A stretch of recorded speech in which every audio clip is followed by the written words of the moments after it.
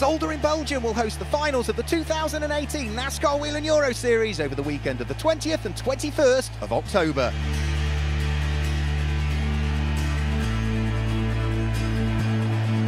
The fans flocked to see some wheel-to-wheel action in the finals in 2017.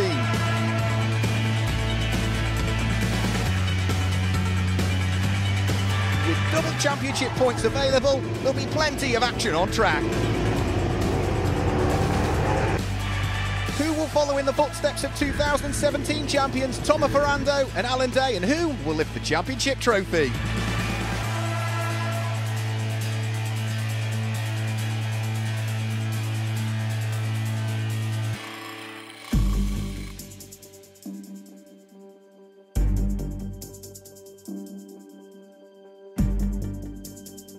for the 12th and final rounds of the 2018 NASCAR Whelen Euro Series. Beautiful autumn sunshine as we visit this fantastic Belgian circuit. There are two divisions, four races over the weekend. Elite 1 is for pro drivers, where Alon Day took up the championship lead after yesterday's race. And in Elite 2, for young and amateur drivers, Ulysse Delsaux regains the championship lead. Well, in typical American fashion, there's great build up to the races. The crowds are poised as well for what are going to be two great 16 lap races around this four kilometre circuit, or two and a half miles. And remember, because it's the finals, it's double points. As ever, the crowds are pouring in into Circuit Zolder. They know what to expect because it's the fourth year on the trot that Circuit Zolder has held the double points finals of the NASCAR Whelen Euro Series. The anticipation is building, but it still gives the crowd the opportunity to have a look around the circuit, the displays, the trade stands, and there's plenty to keep both children and adults busy over the course of this unbelievable weekend where we will be crowning our 2018 NASCAR Whelen Euro Series champions.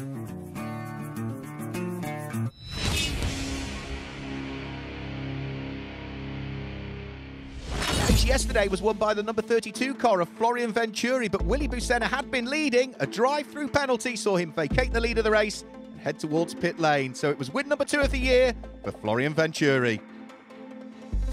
Of course, the grid for this second race of the weekend is made up by the fastest lap times that were posted in the first race of the weekend. So it's the number 24 Chevrolet Camaro of Guillaume Dumoulin that will line up on pole position for race number two of the weekend. And alongside him is Ulysse Delsaux in his Toyota, the championship leader. Florian Venturi is on row number two for Go Fast Racing. And for company, he's got the number 11 PK Car Sport car of the Brazilian driver, Felipe Rebello. Third row of the grid, it's 46 Justin Kuntz and 56 Mattia Dreza.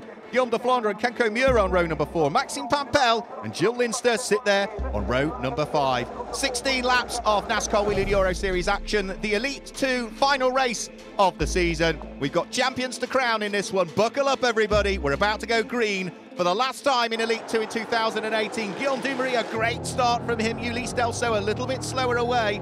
But remember, the Frenchman needs to make sure he doesn't get involved in a first corner or a first lap incident. So he's lost out to Florian Venturi, who is second in the championship and has gone through and ahead of him. But even if they stay where they were, that would not be enough for Florian Venturi. Into the gravel is number 46, Justin Kuntz at turn number one. And that may well bring about possibly an early safety car in this one. They still continue to race. Dumoulin leads the race. Florian Venturi in second place. Ulysse Delsaux in third place. Fourth is Felipe Rebello, and it looks as though it is possibly Guillaume de Flandre that's there in fifth position in the early stages. Remember, Guillaume de Flandre was the championship leader coming into this weekend.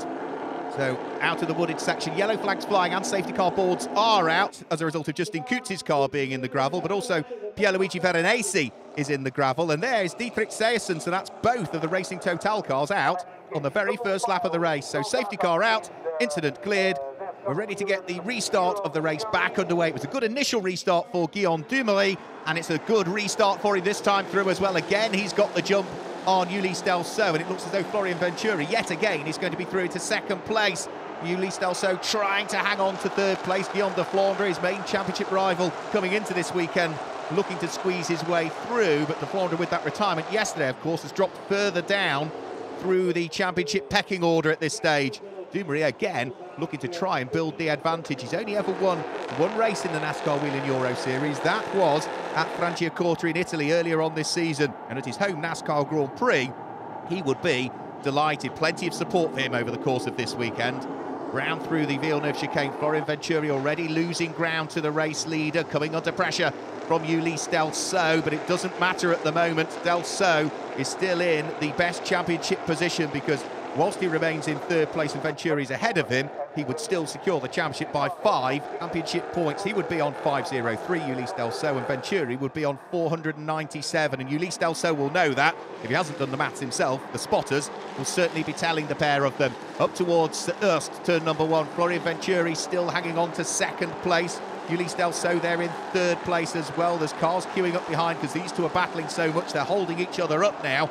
As they head up towards turn number two, it is still the car of Florian Venturi, the number 32 Go Fast Racing Ford that's just ahead of the RDV competition Toyota. Chevy leads, Ford second, Toyota third. Gilles Linster raises the dust in the background. He's down towards the bottom of the top 10. The man from Luxembourg bounces over the curbs at uh, Bianchi Bocht, but the main pack of cars for second, third, fourth, and so on, working their way through the Kleine chicane. Florian Venturi locking the brakes, the unloaded wheel through the Villeneuve chicane. He's trying hard, and for Venturi, he's got two choices here. He either has to break away from the pack that's behind him and close in on Dumoulin to take the lead of the race. If he were to do that, whilst Delsaux is there in third place, that would be sufficient for Venturi to become the champion. Or he needs to back Ulysse Delsaux up and keep his fingers crossed that a few cars are able to pick off Ulysse Delsaux because whilst Venturi is in second, he's got to rely on Ulysse Delsaux dropping down to something like seventh. Because if Ulysse Delsaux drops down into sixth place, they'd be tied on points. You do the count back, and Ulysse Delsaux has had more wins over the course of this season. So the maths continually changing all of the time whilst the racing goes on, and all of the time pulling out in the lead of the race is Guillaume Dumoulin. Looks as though on this lap, Florian Venturi, however, has managed to gap Ulysse Delsaux. So there's the race leader. Here's Florian Venturi in second place. The white and black car is Ulysse Delsaux in third. Guillaume de Flandre, who comes into this race sitting fourth in the championship standings. He was leading, of course, remember, coming into this weekend, but that retirement yesterday cost him quite dear. And there is Felipe Rebello squabbling away with Willy Bucena for fifth and sixth position. Bucena currently lying third in the championship standings coming into this weekend and is going to want to try and see what he can do to try and make sure that he secures at least that position. He's only 26 points off the championship leader Ulysse Delsaux, so any issues for cars. As we saw yesterday for De Flandre, again, the whole dynamic of the championship can change. Lock brakes for Rebello, so hard is he trying to keep Willy Bucena at bay. Bucena looking to try and squeeze his way through on the exit of the Villeneuve chicane. They go side by side through Terlamenbocht, and it looks as though, for the moment, it is still the Brazilian just ahead of the Frenchman. Another lap about to be chalked into the book, though, so over the start-finish line they'll go. Willy Bucena still looking to try and attack the Brazilian up towards Ersk. We've seen it done round the outside at turn number one to get the inside for turn two. But Bucena at the moment is going to cut back on the exit of the corner and look to try and work his way into contention up towards turn two, and he's done it. Yeah, he goes through and ahead of the Brazilian. More points gained for Willy Bucena. Here's another great fight. 10th, 11th, and 12th places all together. The car at the back of the train is Jean-Francois Dumoulin, who is driving the Spectra Premium RDV prepared Toyota for this weekend. Regular racer in the NASCAR Pinty's Series over in Canada and has joined us this weekend as part of the driver exchange program. He's rolling his sleeves up. He's getting stuck in with the red car of Nicola Risitano that sits ahead of him. And at the front of the queue is number 44, which is Gilles Linster. This is a great, great fight. 10th, 11th, 12th, and 13th positions by the look of things all together because at the back of the train joining in now is the number 73 Knauf car in the hands of Paul Guillaude, but a little bit of damage to the front end of his car suggests that he's had a busy race so far here at Circuit Zolder for the finals, the double points finals, where we will be crowning a champion at the end of this race. And Jean-Francois Dumoulin is looking to try and work his way through and ahead of Nicola Risitano. Non-championship point scoring Jean-Francois this weekend, but he has thoroughly enjoyed his time in the NASCAR Whelen Euro Series, and that's the fantastic thing about the NASCAR driver exchange programs. It gives drivers in each one of the national and regional series the opportunity to experience what it's like. And Fred Gabillon, he went over to America earlier on this year to race in Canada. We've also seen Tomo Ferrando head over as well and compete in the NASCAR Pro East Championship as well all of the time, leading the race out front. Guillaume Dumoulin continues to lead the race. Squabbles going on well and truly behind him now. Well and truly out of harm's way is he.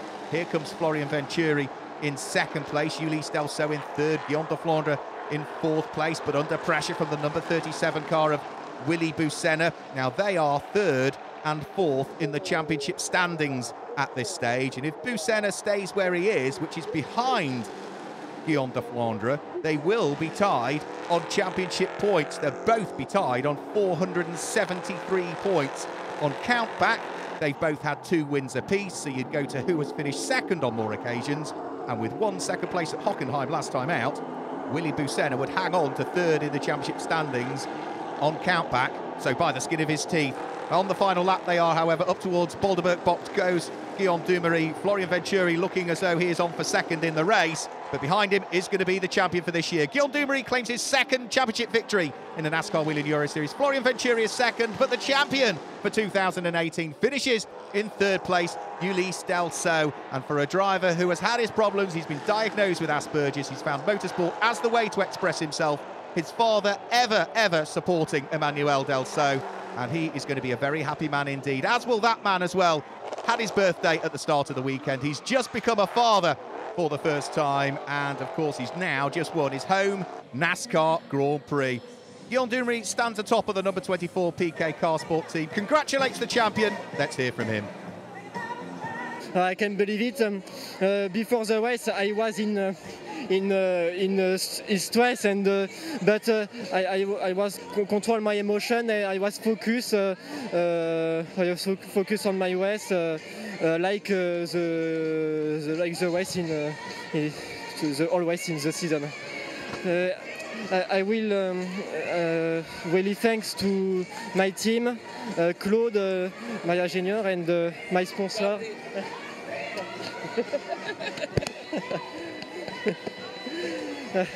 and thanks, thanks to my family because uh, uh, I, I, I, was uh, I, can, I can believe it. I, I don't I don't find the I'm really uh, just, uh, I'm really thanks to uh, all my fans and thank you.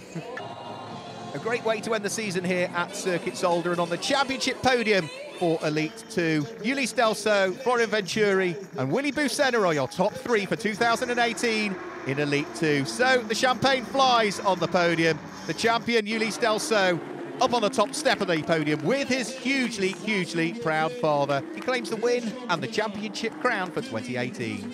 Florian Venturi took a win in the Rookie Cup. He's the Rookie Cup champion for 2018. Second in the Rookie Cup was Kenko Miura and completing the Rookie Cup podium was Nicholas Risitano. In the Legend Trophy, it was Jerry Devert that took yet another win and becomes the champion for the third time on the trot. Second in the Legend Trophy in the race was Mirko Schultis, and completing the Legend Trophy podium Simone Loretta.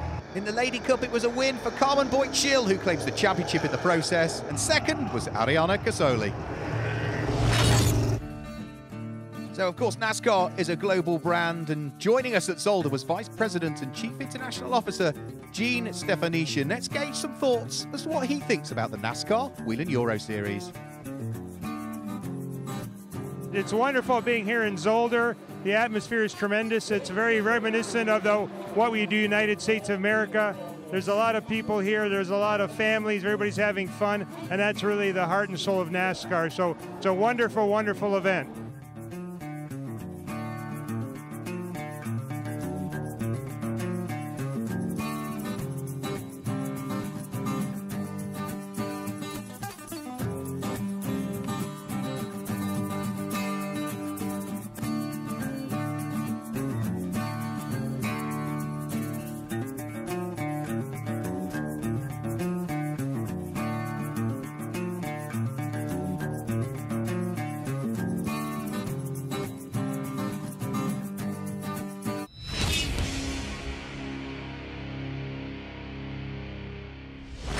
Yesterday's double points Elite One race, Alon Day came through to claim the win, his sixth of the season, but was chased hard by Belgian driver at his home NASCAR Grand Prix, Stienes Longin, and it was Fred Gabillon who finished third. Which means coming into the final race of the season, Alon Day has a 14-point lead in the championship over Fred Gabillon, and then Luca Lasser sitting there in third from Loris Hezemans, the leading junior driver, in fourth. Fastest lap yesterday means number 54 Alon Day starts from pole position today Alongside him on the grid will be Stienes Longin at the wheel of the number 11 PK Car Sport Chevrolet. The second row of the grid sees Fred Gabillon line up at the wheel of his Toyota, alongside Loris Hezemans at the wheel of the Hendriks Motorsport Ford Mustang. And the third row of the grid, that's where we'll see Luca Lasser alongside Belgian hero and race winner at this equivalent race meeting last year, number 91, Marc Goossens. So the final race of the season is ready to go at Circuit Zolder. We've got a champion to crown in Elite 1 and in 16 laps time, we know who it will be. Buckle up, everybody. We're about to go green for the final time this year. Great start from Alon Day, who gets the jump over Stienes Longin on the run down towards turn one. Fred Gabillon looking to try and sneak up the inside if he can. They're nose to tail through turn number one for the lead of the race. They're side by side. The third and fourth, as by the look of things, Loris Hezemans has got himself through and ahead of the Frenchman. Fred Gabillon, who drops down into fourth position. Safely through the first couple of corners, everybody is. Already Alon Day looking to try and sprint away in the lead of the race if he can. Now remember, he leads the championship by 14 points, so it's up to everybody else to see what they might be able to do. If Fred Gabillon, who lies second in the championship, wants to win this championship this year, he's been twice a runner-up, he's got to win it and hope that Alon Day finishes fifth or lower. Well, for the moment, Fred Gabillon is stuck down there in fourth place, and Alon Day is building daylight in the lead of the race as they head in towards the braking area for Bolderbergbocht for the first time through the right-hander up towards the kink at Jochen Rindt bend. There is a spin and a problem for Mauro Trione. That has big implications on his hopes for the Challenger Trophy. He was lying third in the Challenger Trophy points, but it was all rather close. Kenko Miura and Dario Carzo separated by just a single point. and Trione was just five points behind them. And remember, it's double points in this race again, as it was in the first race of the weekend, and as it was for the semi-finals at Hockenheim. Alon Day leads Stienes Longin in second position. Loris Hezemans at the wheel of the number 50 Ford, sitting there in third, the Toyota. Number three, the white and black car for RDV competition, sitting there in fourth place. Remember, that car has already won the championship in the hands of Ulysse Delsaux. So Frank Viola, team manager at RDV competition, can he make it a double win? Elite One and Elite Two. We'll wait and see. Marc Goossens has got his hands rather full at this stage. That looks as though right behind him is the flying Nicola Rocca, who really bounced over the curbs at the Kleine chicane in the first race of the weekend. He's looking to try and hound the Belgian driver, Marc Goossens, who's only actually had one win in the NASCAR Whelen Euro Series. That was at this equivalent race meeting last year, so 12 months since we last saw the Goose win. But Nicola Rocca has got a run on him here and he's going to squeeze his way through. I'd imagine they're heading up towards the very, very fast right-hander at uh, Bianchi Bocht, and he's through. So Nicola Rocca gains the place over Marc Goossens and goes through to grab a few more championship points. Great to see Nicola back in this championship this weekend. There's the rather battered Koen Wauters number 24 car under pressure from Bobby Labonte, who's also got damage to the tail end of his car, the 2000 Monster Energy NASCAR champion. And elsewhere down through the order, this is Romain Iniesta fighting away. Fabrizio Amata, the Italian, up the inside of the Frenchman and goes through. He's had a great weekend so far, has Fabrizio. His first weekend of racing this year in the NASCAR Whelen Euro Series.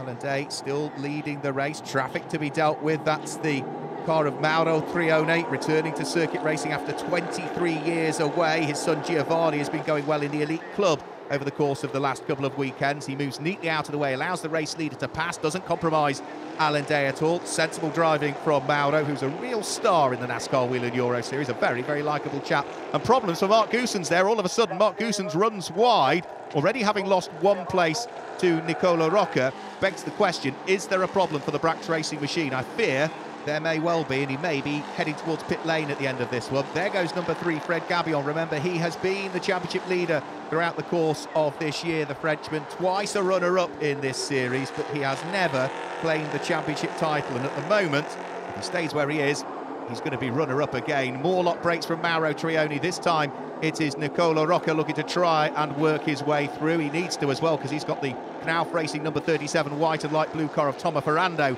right behind him. So Mauro oh, chops across actually the nose of Nicola Rocca there. Nicola will be able to pick his pocket. Tomo Ferrando follows him through as well. So this is a good old fight that is going on between this pair. Up towards Erst, which is turn number one again. The sweeping left-hander. Tomo Ferrando runs a little bit wide, raises the dust, raises the grass, dips a couple of the BF Goodrich tyres into the gravel trap. Alon Day, though, out front, leading the race, but not by that much. He's still got Stienes Longin and Loris Hezemans not too far behind. And also in fourth place, Fred Gabillon isn't that far away either. This is the fight for sixth and seventh place. Slight amount of damage to the front splitter of Nicola Rocca. He's coming under pressure from the 2017 Elite 2 champion, Tomo Ferrando. Can the Canal Ford go through? He's looking for the inside line and he's going to squeeze his way through. Yep, job done as they head through Sterrenbach booked. That is position gained for Tomo Ferrando. The leading four, however, back through the Villeneuve chicane and the number three RDV competition Toyota Camry of Fred Gabillon, desperate to try and get himself ahead of Loris Hezemans, but all of the time, whilst Alon Day is leading, Fred Gabillon will know that his championship hopes are sort of slowly evaporating in front of his eyes. Lock breaks from Stienes Longin. Can he get the car turned in? No, has the shortcut straight across the gravel at the Villeneuve chicane. Well, no harm done, no damage done, but that will have put a lot of dust and debris onto the tyres, which may well mean that he's struggling for adhesion there. The number 44 Toyota of Matthias Hauer heads down pit lane, whilst out front Alon Day now has a bit of a gap actually between himself and Stienes Longin. It's just taken a few corners to clean up the BF Goodrich tyres. Loris Hezemans looking to try and put him under pressure. Fred Gabillon not too far away. And again, lock breaks for Stienes Longin. Can he hang on to the lead of the race? Loris Hezemans desperate to try and go through and gain an extra couple of championship points if he can. And as they head side by side up towards the Kleine chicane, Stienes Longin has the inside line and is going to be able to hang on by the skin of his teeth to the position. They leap their way over the curbs. Longin still there in second place. Hezemans in third place. Fred Gabillon in fourth place. Again, the lock breaks from Stienes Longin. He's driving as hard as he possibly can, but the car at the moment isn't quite doing what it was doing in the earlier stages of the race. And all of this is allowing Alon Day to run away with the lead of the race and potentially the championship. Hezemans up the inside of Stienes Longin. Surely he's through this time. He was very late on the brakes, Loris Hezemans, on the way into the corner. Can he hang on to it on the way out? No, he can't. Great driving.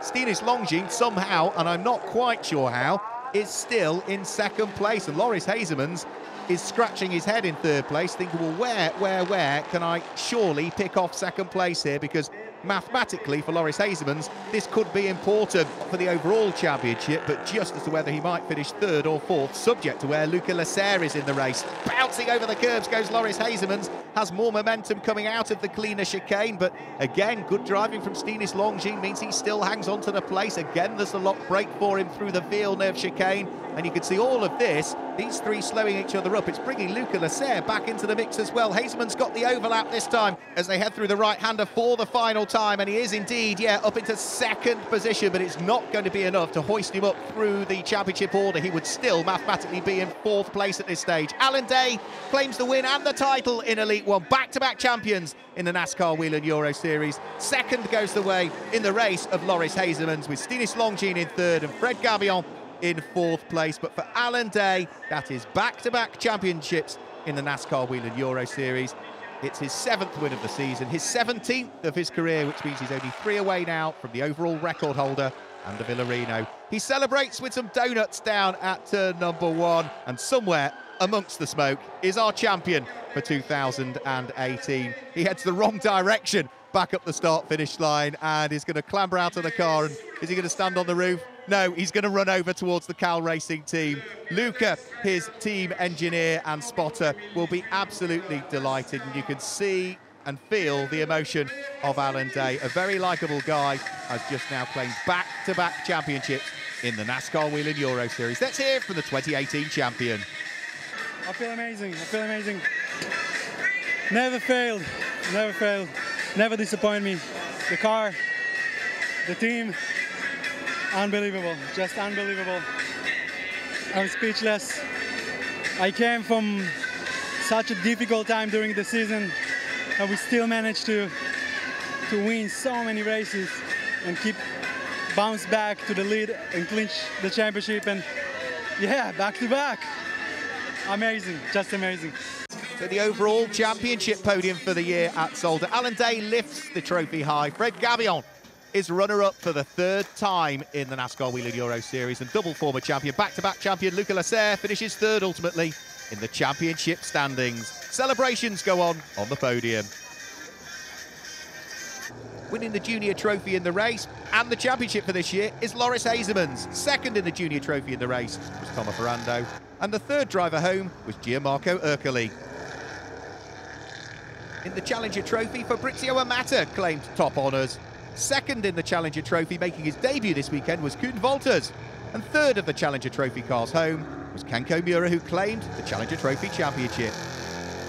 That's all for Euro NASCAR in 2018. Join us for more in 2019.